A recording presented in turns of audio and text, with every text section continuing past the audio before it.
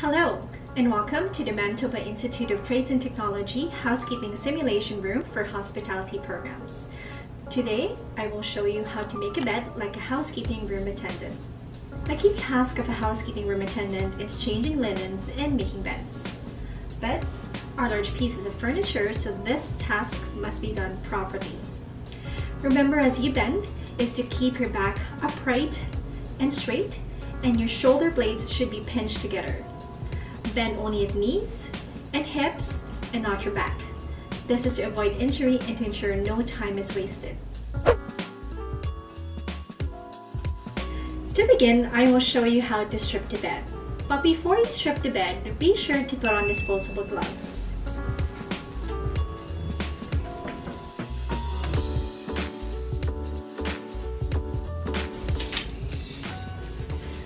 Then you may proceed to check on the blankets and the bed sheets.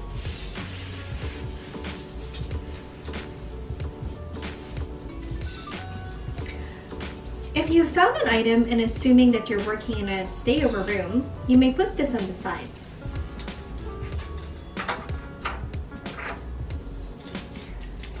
But if you're working in a checkout room, please ensure to log it as a lost and found item and report it to your supervisor or manager at the end of your shift. Begin making the bed.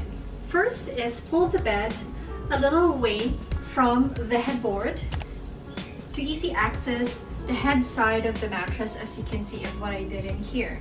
Next, we are going to place the bottom sheet, which is also known as the flat sheet, on the mattress.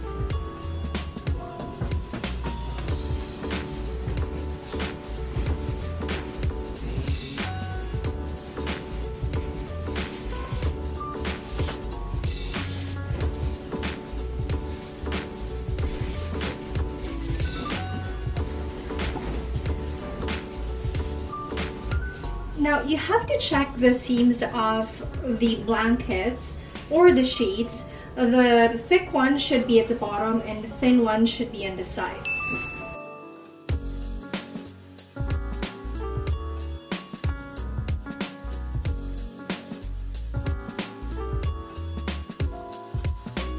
Now ensure that the bottom sheet is on the center of the mattress and let uh, the mattress to hang, sorry, let the sheets just hang on the mattress um, over on the sides of it. And then uh, we're going to tuck this side of the bottom sheet, which is at the foot of the mattress.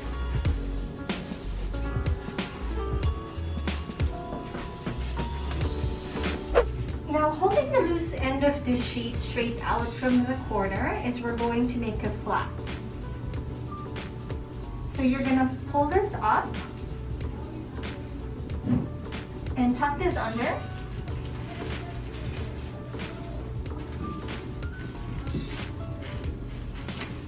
Now tuck in the flap.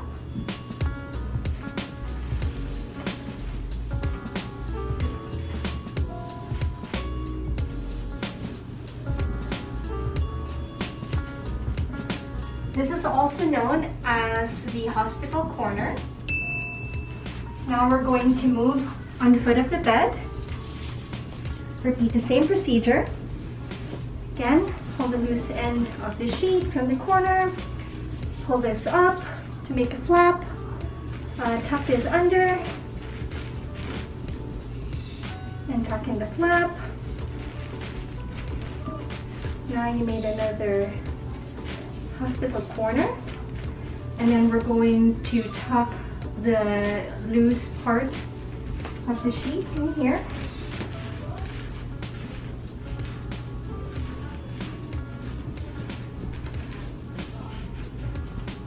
So this side is done. Then we're going to move on the other side. We're going to start again from the head of the bed Again, we're going to make a flap from the loose end corner.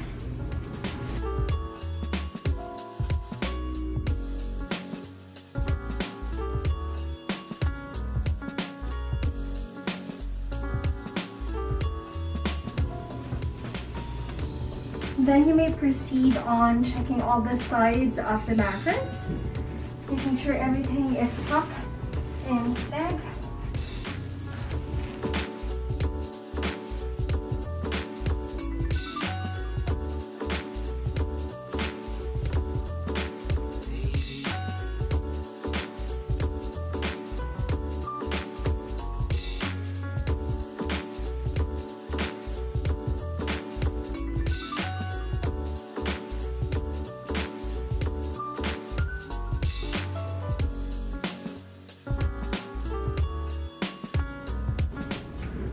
And there you go.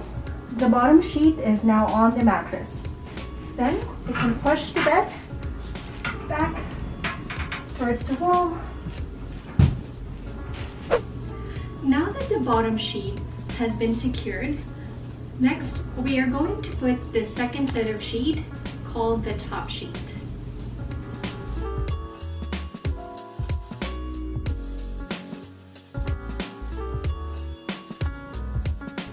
Now we're going to spread the top sheet over the mattress, ensuring the top end reaches the headboard.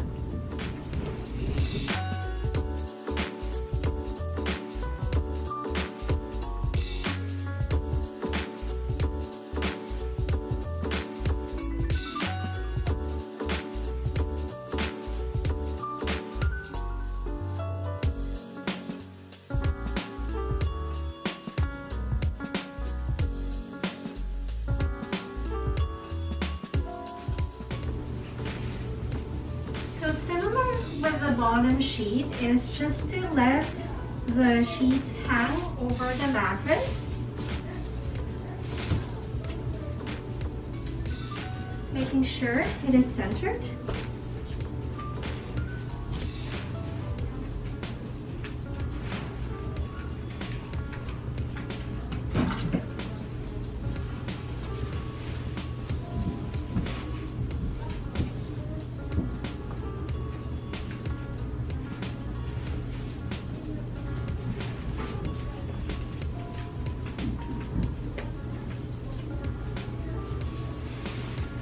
Now is we're going to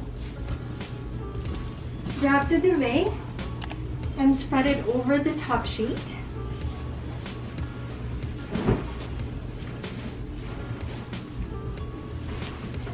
Now remember to check the edges off the duvet.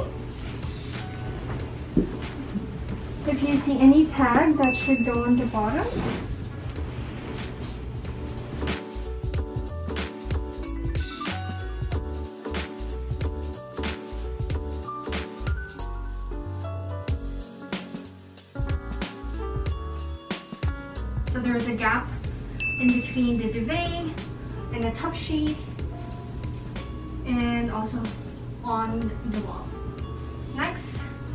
Is we're going to fold the top sheet over the duvet.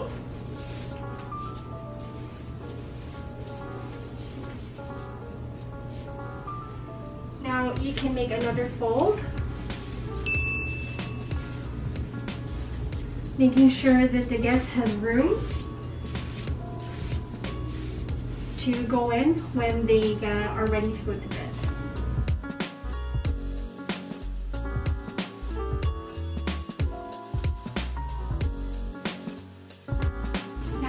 going to tuck the top sheet and duvet together on this side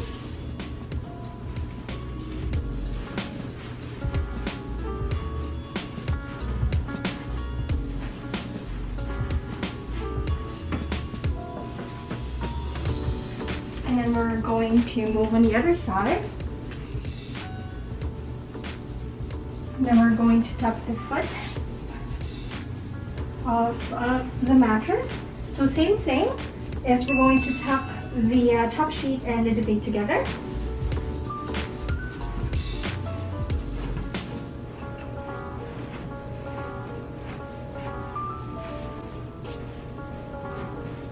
Now uh, we're also going to make a hospital tuck uh, for both sheets. So same as we're going to make a, a flap, pull this up,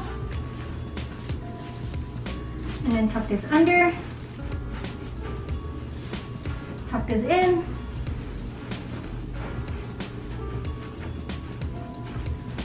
And then tuck in the free part. So another hospital corner over this uh, side of the bed. And check in all sides now.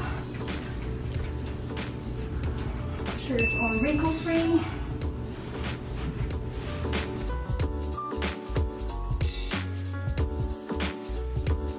And now, let's work on the pillows and the pillowcases. Now check to see if your pillows has some tags, so this should go um, at the bottom of the pillowcase.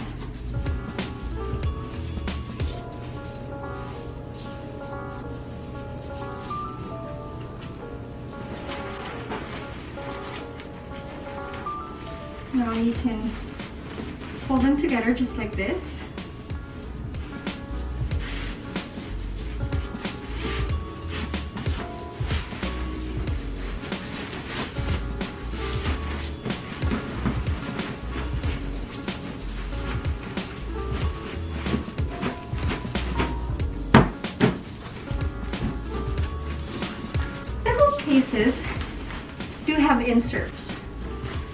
That your pillows are inserted on the pillowcase.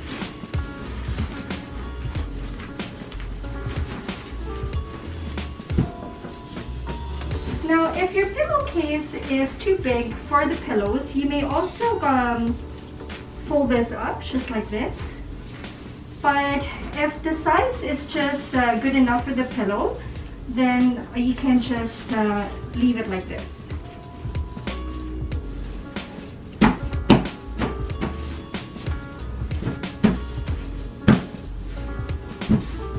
Now we're going to put our decorative pillows here on the head of the mattress. This serves as the um, headboard. Now, when placing your pillows, make sure that the open part is going this side. And same thing for this one. So here's the inserts in here. And then we'll put it this way. So the open part is facing uh, the center and not um, over this side. And if you do have a second set of pillows, you can put it. Now, um, what you have to uh, remember um, is that to place it um, not on top of the duvet cover. So there should be like a gap in between.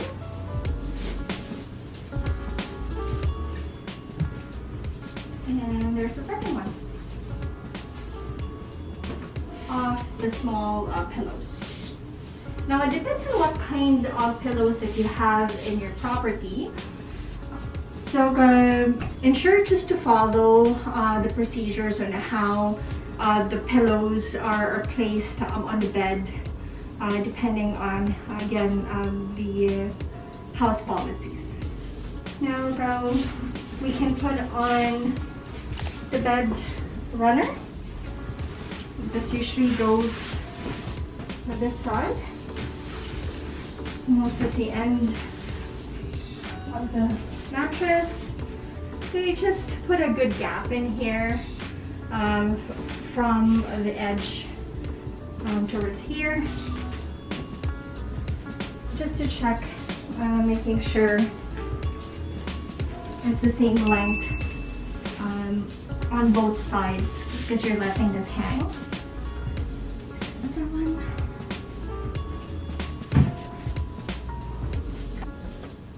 And there we have it. The bed is now made.